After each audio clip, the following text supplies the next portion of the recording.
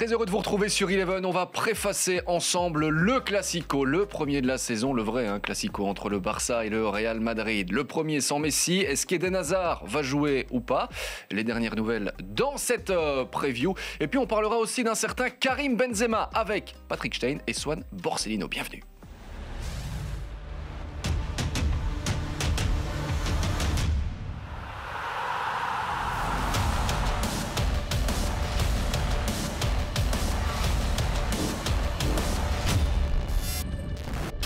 Ils sont là, ils sont bien là. Patrick, comment va-t-il? Très très bien, Jérémy. Merci beaucoup de l'invitation. Avec plaisir. Excité aussi Oui, bien sûr. Hein, euh, voilà, un, classico sur place. Ça fait comme un, petit bout de temps qu'on n'a pas eu l'occasion de voyager pour le boulot. Donc, euh, non, je, suis, euh, je suis ravi du week-end qui m'attend. Vous avez le vol dans les prochaines heures, justement, pour Barcelone. Petit chanceux Swan, ça va? Salut Jérémy, salut Pat. Vous, vous allez rester euh, ici, en Belgique, mais vous allez suivre le Classico. Oh, mais du coup, vu que je viens de Paris, je voyage quand même pour le boulot. bon, j'ai peut-être pas autant de chance que Pat, mais quand même. Excité par ce Classico?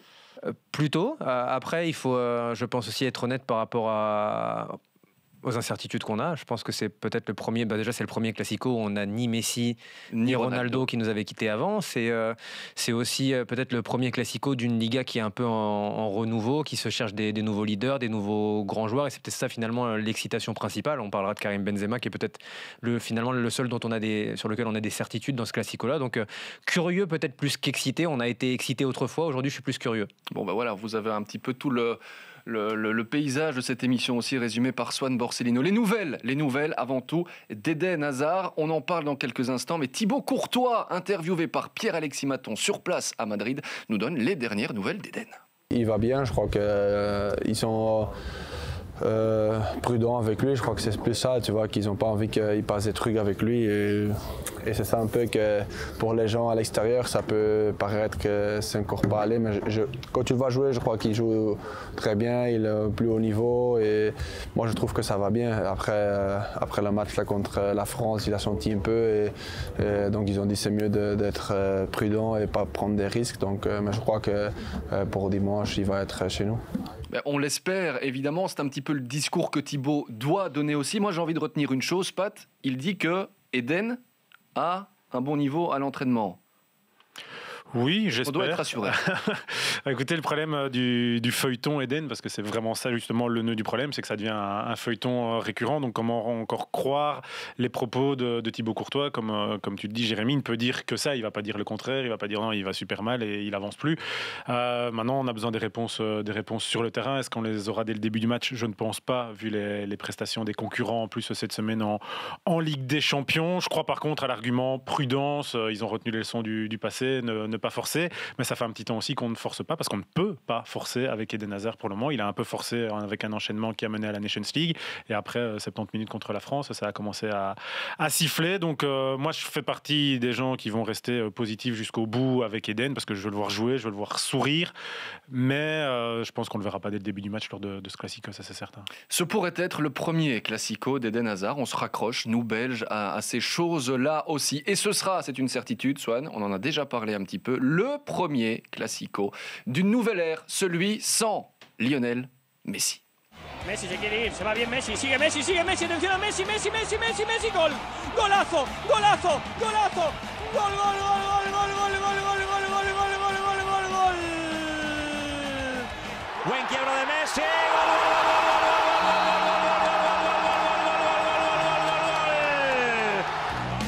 Ahora Luis Suárez ante Barán, no pita Messi. Messi en el área, Messi recorta, Messi, Messi, Messi, gol, gol, gol, gol, gol, gol, gol, gol, gol, gol, gol, gol, gol, de Messi.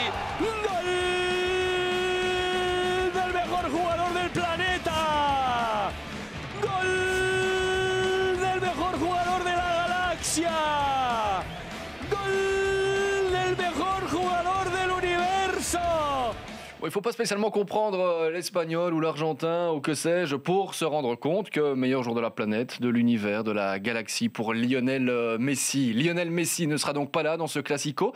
Quelle est l'image, Swan, Patrick, que vous retenez de Messi justement dans un classico? Swan Déjà, je voudrais m'excuser auprès de, auprès de vous et du public d'avoir spoilé du coup le reste de l'émission dès l'introduction. c'est malheureux, c'est ma faute. Euh, J'en garde une, mais je pense que je vais un peu voler peut-être une de celles que à laquelle pense pas, c'est forcément sa célébration avec son maillot, parce que ça a été iconique et je pense que ça arrivait à un moment où il pouvait se permettre d'avoir ce genre d'attitude Là, on l'a quitté euh, dans, le, dans le super sujet, là, sur des images assez jeunes, euh, où il n'avait peut-être pas la personnalité euh, qu'il avait aujourd'hui. Et je pense que cette célébration, ça a été un peu un moment pour lui de s'affirmer. Euh, et je garderai peut-être aussi, euh, il y a eu des classicos quand même très musclés, avec notamment l'époque où Pep était là, où Ramos était là, cette rivalité avec Ramos notamment. Je garderai surtout l'image de, de quelqu'un qui euh, a pris beaucoup, beaucoup de coups pendant ces matchs-là et s'est toujours relevé. je pense que c'est ça peut-être qui manquera au plus, le plus au Barça finalement sur ce match-là. Pat, l'image de Messi dans un classico. L'image de Swan, c'est l'image de, l'apogée de, de, Messi. Je crois que quand il aura vraiment clôturé sa, sa carrière après sa petite excursion euh, parisienne, euh, ce sera une des images qu'on ressortira partout. Donc forcément, celle-là, il est inévitable. J'ai aussi envie de retourner plutôt dans, sa jeunesse et peut-être penser euh, au début du Classico. J'avoue que j'ai pas hyper encore bossé le sujet, donc je sais plus si c'est un, de ses, un de ses tout premiers ou quoi, mais je me souviens d'un but avec le Messi, oui, un peu coupe, coupe mi-longue comme ça, sur un assist de Ronaldinho, parce qu'il faut quand même savoir que ces deux génies ont joué ensemble et ont brillé dans, dans des Classicos. C'est dire aussi la, longévité et la chance qu'on a eu de connaître Messi pendant 15 ans quasiment de, de Classico, parce que celui dont je parle, je pense que c'est 2006 ou 2007. Il en aura joué jusque, jusque 2021, jusqu'au printemps 2021. Donc voilà, je replongerai dans, dans, le passé parce que des jeunes, dès le début, on avait compris que c'était Messi et il a marqué dans, dans un classico. Je pense que même c'était un triplé, mais dans, avec un but sur un assist de, de Ronaldinho. Et même dans 5 ans, hein, quand on préfacera un classico, on se dira ah oui, l'époque de Messi. Voilà. et là, c'est normal, c'est le premier, donc c'est normal qu'on en parle euh, aussi. Mais on va parler d'autre chose. On va vraiment préfacer euh, cette euh, rencontre-là avec l'héritage, peut-être qu'il a laissé au Barça ou pas. Euh, en tout cas, j'ai aussi envie d'avoir euh, votre avis. Bon, on vous y avait déjà un petit peu répondu. Pas de Messi moins excitant, mais est-ce que justement, c'est pas l'occasion de peut-être voir l'autre, un autre visage du Barça, des joueurs qui sont sur la pelouse, mais aussi au niveau des coachs? Parce que quand il y avait des coachs avant, il y avait surtout Messi, tout était fait autour de lui. Aujourd'hui, est-ce qu'il n'y a pas plus justement de responsabilité à prendre à ce niveau-là? Les coachs, de toute façon, le coach du Barça, il est sous pression. Euh, Énormément. Ronald Koeman, qui, chipote encore tactiquement, qui commence à trouver euh, certaines solutions et qui revient quand même, si on constate un petit peu les derniers matchs du Barça, pour le moment, la méthode, ça devient surtout de mettre en dessous Fati dans les meilleures conditions possibles. Donc, est-ce que c'était ce qu'on faisait déjà avec Messi à l'époque? Peut-être. Après, il y a d'autres euh, ingrédients quand même dans, le jeu du Barça. Je ne vais pas caricaturer et, limiter à ça, mais ce sera de fait un, match de, de coach avec un Ancelotti qui vient d'arriver aussi, qui cherche encore sa meilleure formule qui trouve certaines réponses aussi, qui a des, joueurs qui lui donnent satisfaction. À Ancelotti, on connaît le, côté meneur d'homme, on connaît le côté euh, grand rendez-vous. C'est peut-être davantage un entraîneur de, coupe et de, de rendez-vous précis que de championnat, même s'il a quand même forcément gagné des, championnats dans, sa carrière. Donc oui, ce sera un, duel de, de coach, mais je préfère quand même qu'on laisse parler les joueurs, moi, sur, sur ce classique-là, parce qu'il y en a des beaux qui ont beaucoup de choses à dire. Quatre victoires, enfin matchs sans victoire dans un classico hein. pour le Barça. J'ai été un petit peu rechercher les, statistiques. Le Barça, la dernière victoire dans un classico à la maison, c'était en octobre 2018. Victoire 5 euh, buts à 1. La saison dernière, le Real s'était imposé à deux reprises et notamment 1-3 du côté du Camp Nou. Euh, Swan, Pat parlait d'Ansu. Alors c'est vrai, il n'y a pas Messi dans ce classico, mais il y a d'autres stars à en devenir. Il y a la jeunesse aussi. Est-ce que l'héritage de Messi, ce sera pour Fati il a beaucoup de responsabilités et de pression sur les épaules, hein, celui-là. Bah, la, pression, je vais dire, on lui a même pas mis sur les épaules, on lui a floqué sur le dos plutôt, avec euh, le numéro dont il a hérité, ce qui n'est pas rien. Après, je pense qu'il était tout à fait d'accord. Là, on, va revoir voilà, les images de, son magnifique but face, face, à Valence. Euh, peut-être pour embêter un peu Pat, justement, moi j'aurais tendance à, penser, et quelque part c'est ce qu'il veut, et j'espère que c'est ce qu'il va pouvoir voir, mais pour moi ce sera plus un match de joueur que de coach, parce qu'on euh, a tendance à, évidemment, on parle de l'héritage laissé par Messi et, Ronaldo, mais je reste persuadé qu'il y a quand même dans les deux équipes, et notamment au Barça, euh, des joueurs de, caractère et des joueurs qui ont envie de bien faire pendant ces matchs. Je pense à deux joueurs en particulier. Euh, vous me parliez d'Ansu Fati, Jérémy, moi je pense à Memphis Depay côté Barça, parce que c'est un joueur qui vit pour ces moments-là qui s'est jamais caché quand il était à Lyon. Il s'est jamais caché dans les grands matchs, mais il s'est surtout jamais caché qu'il voulait jouer des encore plus grands matchs. Et je crois que là, ça va être son vrai premier si on met de côté sa période United, évidemment. Et, je crois que voilà, si Ansu Fati est dans ces bonnes conditions-là, c'est aussi parce que Memphis Depay, c'est un joueur qui arrive à jouer et à s'inscrire dans un collectif là en étant une individualité assez forte. Donc je pense à lui. Et de l'autre côté, je pense à Karim Benzema, évidemment, même si, euh, vu que je spoil en continuité l'émission, on, y revient. non, non, mais juste pour, pour cette espèce de, dichotomie là entre les, les, deux équipes, c'est que. Euh, paradoxalement, Benzema, on y reviendra, a pas toujours fait des, grands classicos, ou en tout cas a pas brillé autant que sur le, son, son, passé récent. Et je pense que ces deux joueurs-là ont à cœur euh, de porter leurs équipes peut-être encore plus que le projet du coach et je reste persuadé que les deux en sont capables. Donc, parler justement, Swan, de porter son équipe parce que la jeunesse, elle est là. On a vu Gavi, il y a Pedri aussi qui a été acheté il y a, quelques années pour, pour 20 millions d'euros. Mais en dessous, Fati, on a l'impression que dans la génération actuelle, c'est vraiment lui et sur lui que l'on met les responsabilités qui, dans les grands matchs, si c'est bloqué, s'il faut faire la différence, c'est sur lui qu'on va compter, d'accord ou pas, Pat? Bah, Attention aux analyses du, du, moment très, très précis de, l'instant T. Et voilà, il y a du storytelling positif à faire du côté de Barcelone. Et là, on nous vend forcément une grande histoire en dessous Fati parce qu'il faut digérer le départ de, Messi, faire un écran de fumée sur les problèmes euh, financiers. Et l'histoire en dessous elle est magnifique. Hein. le, jeune joueur prodige, annoncé comme le successeur, qui se blesse, carrière en doute, et retour, euh, retour au plus haut plan. L'histoire, elle est super belle. De là, en tirer toutes les conclusions et surtout des grandes projections vers l'avenir, je dirais quand même de, faire gaffe, de faire attention. J'adore le joueur, je trouve qu'il a un excellent potentiel. Je peux monter dans le wagon de la hype quand on veut, mais je suis aussi obligé de dire que ben voilà, il va passer des tests, il va passer des épreuves, il va devoir y avoir de la confirmation. Euh, on a vu malheureusement pour lui un Boyan Kirkic faire des débuts extraordinaires jeunes dans un contexte où tout allait bien pour le Barça et puis il a eu la carrière qu'il a, qu'il a connue malheureusement et des problèmes euh, mentaux tout simplement pour, euh, pour digérer tout ça. On ne connaît pas la capacité à Ansu Fati à devenir un champion ultime. La capacité mentale, euh, en tout cas pour revenir, il a déjà prouvé. On a plein de bons éléments, mais les réponses, et ça c'est le jeu du football, euh, on sait pas, on peut s'amuser à faire des projections, mais les réponses, on les aura dans, dans 5-10 ans sur, euh, sur vraiment la nature de champion de, de Ansu. Et les blessures, évidemment, vous en parliez, il revient pratiquement d'un an hein, d'indisponibilité avec cette opération au niveau du, du, ménisque. On lui souhaite le meilleur, on verra s'il brillera dans, dans ce classique. On parle du Real Madrid dans quelques instants, mais encore cette question, puisqu'elle est vraiment d'actualité euh, pour le Barça et j'aimerais vous entendre euh, là-dessus. Euh, Messi est parti. Je pense, je pense que vous l'avez compris.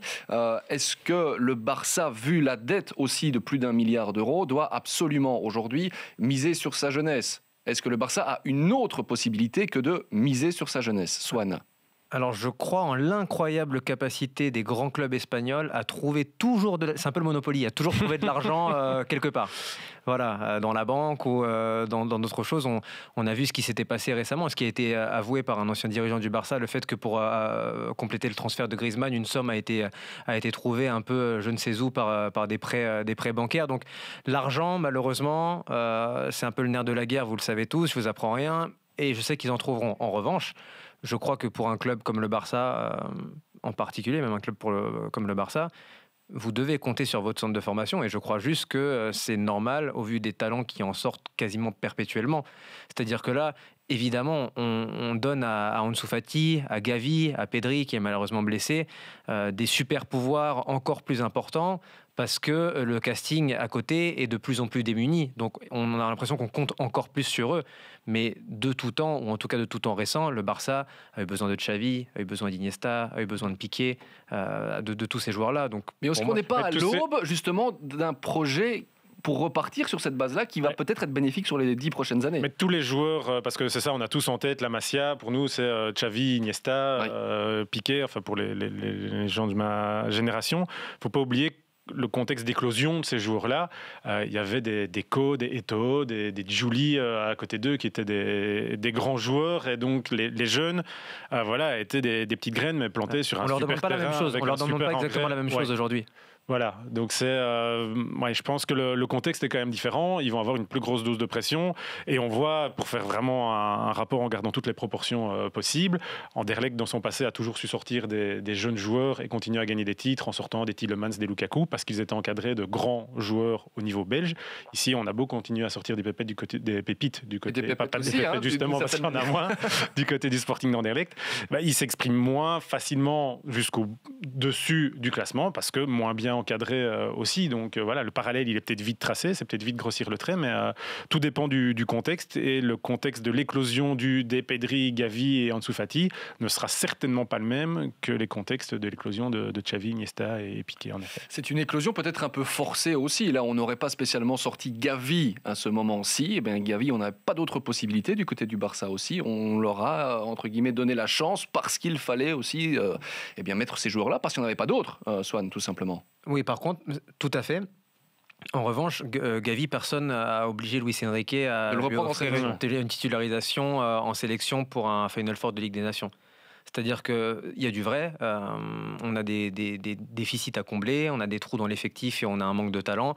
Donc forcément, plus vite, vous allez être euh, amené à des talents moindres que Messi d'arriver dans un effectif et d'avoir du temps de jeu.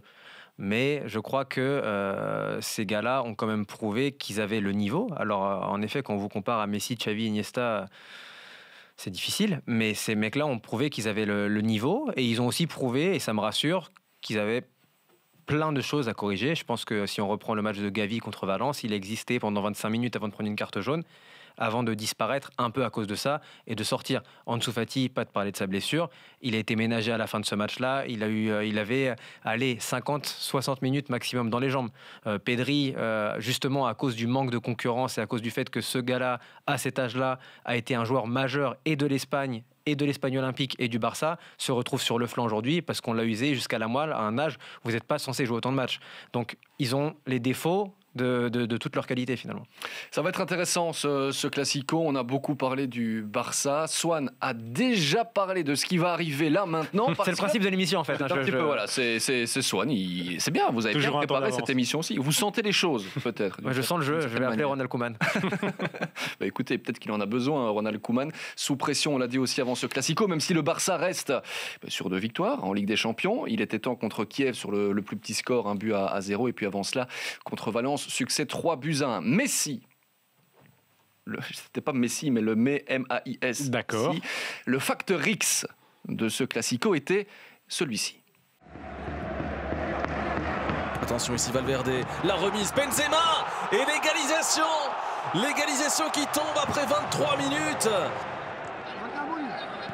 Martinez, le centre au second poteau vers Benzema Oh, qu'il est bon Karim Benzema qui aura donc fallu 42 secondes dans cette deuxième période pour établir l'égalité.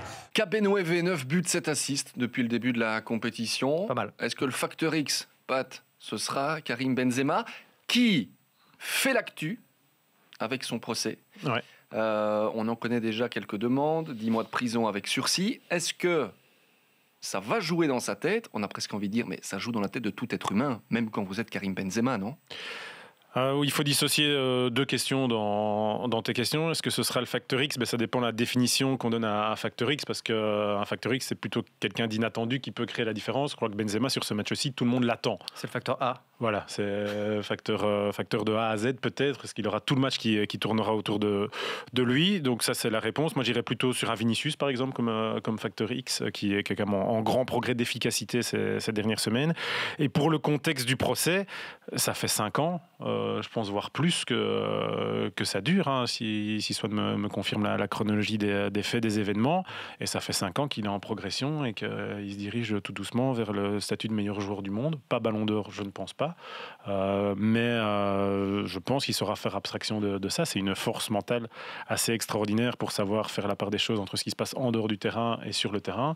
Donc, même si c'est un être humain qui risque d'être perturbé, je pense que pendant 90 minutes, il mettra les GSM et tout ça au, frigo et qu'il nous proposera un grand match. Plusieurs années que ça dure, mais là ça se concrétise pour Karim Benzema. Votre son de cloche, Swan, est-ce que Karim Benzema peut justement peut-être aller tirer encore plus de motivation que d'habitude dans, ce qui se passe pour l'instant?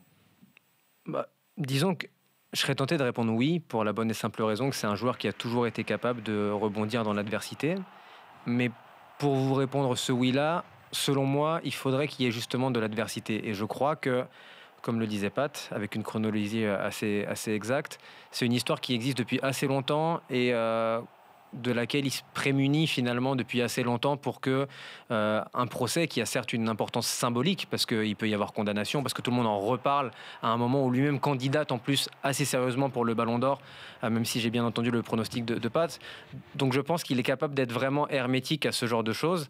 Euh, c'est un, joueur qui est capable vraiment de, se concentrer sur ce genre d'échéance, de, qui a hâte de bien faire. Et comme je le disais dans ma campagne pour ruiner cette émission, du coup, je pense que Karim Benzema a tout intérêt et a une énorme envie de réaliser une grosse partie sur ce classico-là, parce que euh, c'est le premier dont il est la star. Vraiment, c'est-à-dire que euh, avant, il a toujours été, il a eu des, il a eu des bons matchs, il en a eu des moins bons aussi pendant le classico et ça, je pense qu'il le sait. Mais euh, il a toujours été justement le facteur X avant il l'était. C'est-à-dire qu'il était le facteur X de Ronaldo. Il a pu être le facteur X même de, de Gareth Bale, de Modric, etc. Aujourd'hui, c'est lui qu'on attend. Aujourd'hui, là, si on a des belles affiches derrière nous, et je pense que si nous n'étions pas en Belgique, je pense que, je pense que, ah je pense que l'homme qui serait, l'homme qui figurerait à côté de Memphis Depay serait Karim Benzema. Et ça, c'est la première fois pour lui. Et je pense que euh, à 34 ans, après une carrière XXL, après les records euh, incessants qu'il est en train d'écrire au Real Madrid, pour lui, c'est très important d'arriver à bien figurer et à être décisif pour la première fois euh, avec ce rôle de star. Peut-être que ce sera aussi très important pour lui d'arriver à soulever un titre, euh, une Liga par exemple avec le Real, en étant capitaine ou vice-capitaine, parce qu'il est capitaine car Marcelo ne, joue pas. Mais pour moi, c'est vraiment son match aujourd'hui, maintenant.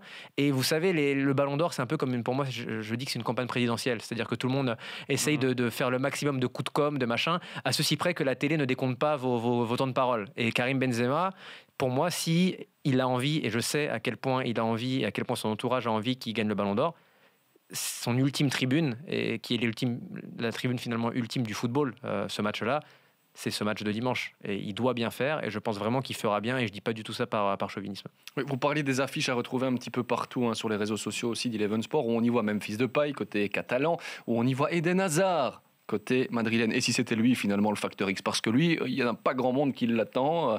Euh, nous non plus, peut-être une montée au jeu, on verra. Et s'il lançait sa saison dans ce Classico? C'est un autre débat dans lequel on ne va pas entrer maintenant. Par contre, le ballon d'or. Oui, allons-y, on en parlait. Benzema, ballon d'or, oui ou non? Pat avait dit non dans un premier temps. Je continue à dire non. Euh, Pourquoi Parce que Swan a très bien résumé la, la situation. C'est une histoire de lobby le Ballon d'Or aussi. Et Dieu sait si la puissance du, euh, du lobby madrilène est forte, la puissance du lobby français, même si ça fait peut-être un petit temps qu'ils attendent un, Ballon d'Or, euh, peut être, peut être fort aussi, parce que la France, malgré l'euro à moitié raté, est une, une des meilleures nations du, du monde et que Benzema est un des meilleurs joueurs d'une des meilleures équipes. Il n'y a, pas de, a pas de doute à ce niveau-là. Mais je sais pas, j'ai plutôt. c'est juste de l'affect, hein. de toute façon, le ballon d'or, une récompense individuelle en, en foot, c'est juste de, de l'affect. Et j'adore Benzema, j'adore le joueur et je le place dans les meilleurs joueurs du monde.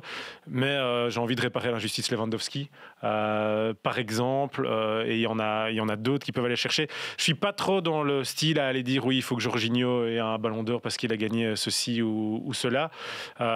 J'y crois moins à, à cette Donc Lewandowski, pas de ballon d'or l'année dernière, on a bien compris pour, pour Pat, ça se défend absolument. Brièvement, Swan, pour pas entrer dans un débat qui pourrait durer, et ce serait un plaisir, 45 minutes autour du ballon d'or. Euh, Benzema ou pas Benzema comme ballon d'or? Alors, brièvement. Brièvement. Très brièvement. Déjà, je me permets, euh, devant nos millions d'auditeurs, de parier une shop avec Pat que Lewandowski n'aura pas le ballon d'or. Je pense. Hein. Même s'il s'il pourrait le, mériter. Euh, moi, je serais tenté de dire oui, mais après, si vous, me demandez un pronostic, vous me demandez une, simple mon envie. Lâchez-vous, Swan. Non, non, mais parce que, le pronostic, non, mais, non, c'est pas la même chose. C'est pas la même chose. Moi, mon pronostic, c'est que malheureusement, euh, je pense qu'il reviendra à Léo Messi. Parce qu'il il a été sacré dans des conditions beaucoup plus aberrantes. Parle parler de lobby, ils existent. Et je pense que euh, une année où, euh, la première année où Messi arrive à gagner quelque chose avec son équipe nationale, où il fait une saison qui peut avoir peut-être l'air plus quelconque par rapport au standard incroyable qu'il a fixé avant, je pense que ce sera pour lui. Voilà. Après, pour finir de répondre à votre question encore plus brièvement, euh, je pense que euh, tout est fait euh, côté réal, côté équipementier, côté journaliste français aussi, pour que Karim Benzema reçoive le soutien que peut-être Franck Ribéry, par exemple, n'a pas reçu en 2013, à une époque où il l'aurait sans doute mérité.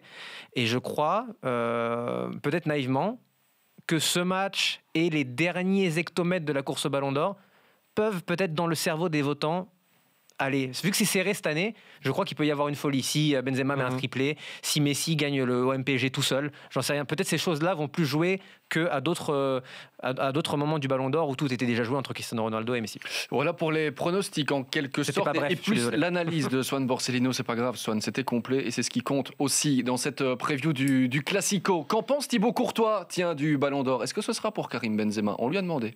Je crois qu'il le mérite.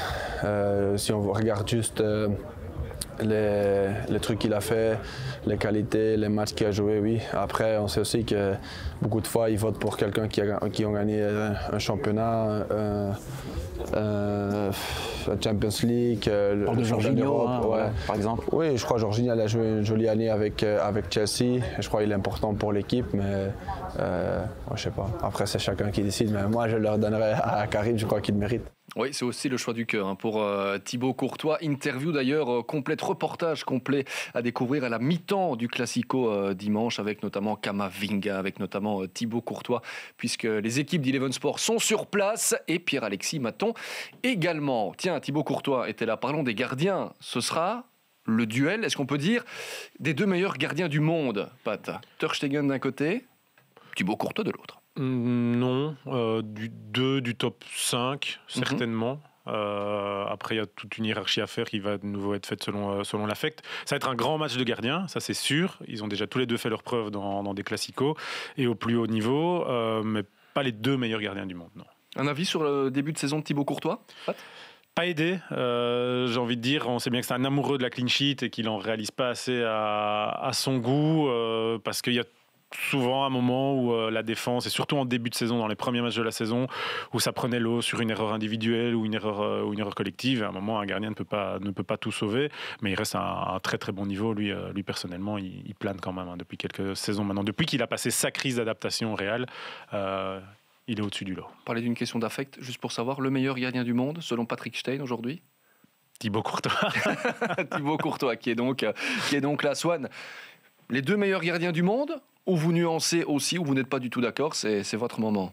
Euh, non, pour moi, alors je mets Thibaut certainement dans, dans le top 3, mais pour moi, c'est pas un affrontement entre les, les deux meilleurs gardiens du monde. En revanche, je pense que ce qui est intéressant, c'est de voir le rôle qu'ils occupent dans leurs deux équipes. C'est-à-dire que Thibaut Courtois a un rôle, même si on sait qu'il a beaucoup progressé dans son jeu au pied, mais euh, peut-être plus euh, de gardien traditionnel, euh, un peu plus défensif. Là où je reprends notamment le, match contre Valence pour le Barça.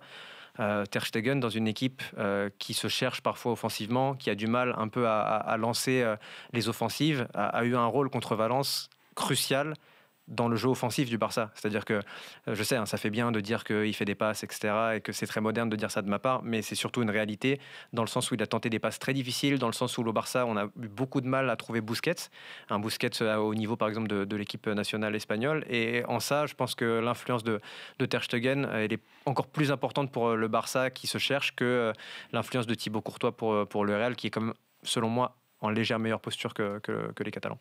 Ben Voilà un petit peu pour ces différents avis. La fin de l'émission arrive, hein, fin de ce podcast preview classico. Alors vous le savez, Swan me connaît aussi de plus en plus puisqu'on partage quelques centimètres carrés de studio dans le box-to-box. euh, J'ai l'impression que c'est grand ici, du coup.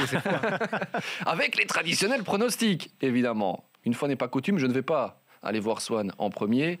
Mais Pat qui fait Oula, ça va être compliqué. Mais oui, à l'image un petit peu de, de cette rencontre. Real, match nul ou Barcelone, on rappelle que ce sera au Camp Nou. Pat. Je vais faire très attention à ce que je vais dire parce qu'on est avant le match que j'aurai le plaisir de, de commenter. Et j'ai pas envie Comment du ça, tout va, de, comment ça va sauter à la figure de Pat cette histoire de me mettre en difficulté hein, en ayant euh, voilà j'ai déjà dit euh, Thibaut Courtois comme meilleur gardien du monde. Donc c'est voilà les supporters du Barça l'ont entendu pensent que je suis euh, madrilène alors que non je le promets je ne suis ni euh, catalan ni euh, ni madrilène. Mais je vais quand même pronostiquer un bon partage. Comme ça euh, je m'en sors bien avec euh, avec deux buts de, de chaque côté. Comme ça c'est sûr qu'on prenne euh, du plaisir donc un bon vieux 2-2 des familles euh, qui ne me met pas en danger Le prono de Pat Stein, quel est celui de Swan Borsellino qui peut se mettre en danger hein, Swan, faut y aller. hein, c'est... Non mais c'est horrible parce que j'allais vraiment dire 2-2. Genre, genre, je, je suis mal, mais euh, non, ouais, 2-2, euh, ouais, un 2-2 avec euh, but de deux pailles sur penalty. Voilà, c'est, ça je le sens. Très bien. Eden Hazard va jouer? Un quart d'heure Un quart d'heure, ouais. pas Hazard oui, va marquer comme moi. C'est un quiz en fait. oui, c'est celui qui répond le plus rapidement possible. Par contre, en parlant de quiz, il y a un petit euh, concours auquel vous allez peut-être vous aussi pouvoir participer. Ce sera sur le lien YouTube de ce podcast pour gagner. Écoutez, ceux qui le regardent en vidéo, ce podcast, verront qu'il y a un maillot du Barça, celui de cette année, non floqué, je préfère le préciser, et un maillot du Real Madrid. Comment faire pour les remporter, euh, messieurs? C'est très simple. Vous allez donc sur le lien YouTube, vous laissez un petit commentaire en dessous de cette vidéo et vous nous dites Real Madrid, match nul ou Barcelone? Qui va gagner? Ce classico ou ce que ce sera un partage voilà et ces maillots là seront peut-être pour vous il me reste à vous souhaiter un excellent match un excellent classico Pat à vous aussi sur place il devrait faire bon ça devrait être sympa Un grand merci. Oui, 23 degrés annoncés, c'est parfait. Ça va me réchauffer le corps et le cœur. Allez, bon vol à vous, direction Barcelone sans escale. Et pour Swan, on vous retrouvera aussi juste avant ce classico avec euh, Kevin Yanker, Non loin d'ici. non loin d'ici, pour nous mettre aussi un petit peu dans, dans l'ambiance. Vous serez dans la team pour ce classico. Merci Swan. Merci à vous. Merci à de nous avoir regardés, merci à vous de nous avoir suivis. Et à lundi pour un nouveau podcast, puisque ce sera Eleven Insiders. On parlera, tiens, tiens, encore du classico. Ciao, ciao.